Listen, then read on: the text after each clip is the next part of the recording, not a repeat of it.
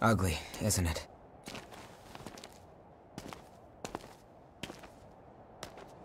The Red Mist showed up a short time after the Queen was defeated.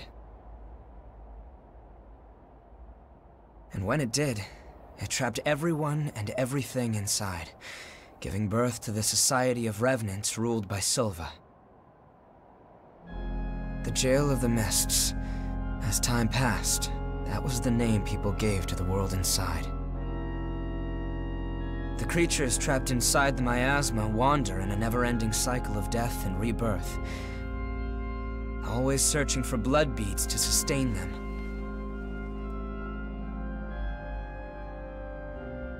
Revenants need to have blood.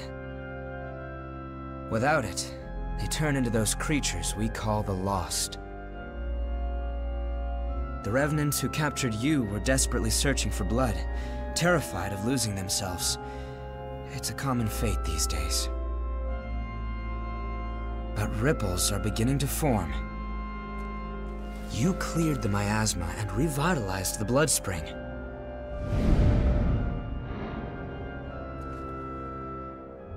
Where did you learn to do that? You've forgotten? Anything you do remember? That's unusual, losing so much of your memory.